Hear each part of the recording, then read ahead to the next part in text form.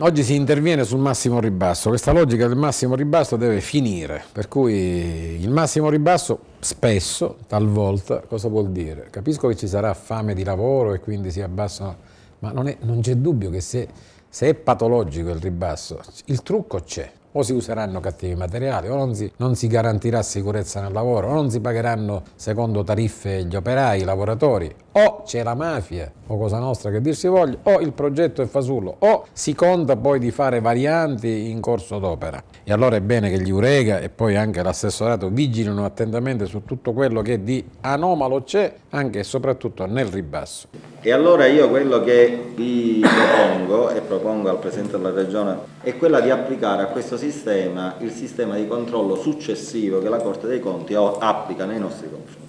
Vale a dire, io mi riservo di costituire un soggetto ancora una volta a composizione mista che a posteriori verifichi le offerte